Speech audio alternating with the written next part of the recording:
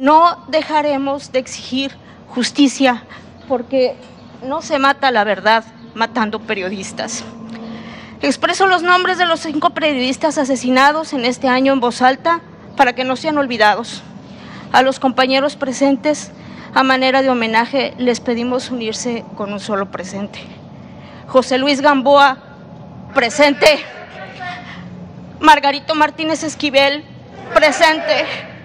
Lourdes Maldonado, presente. Roberto Toledo, presente. Ever López, presente.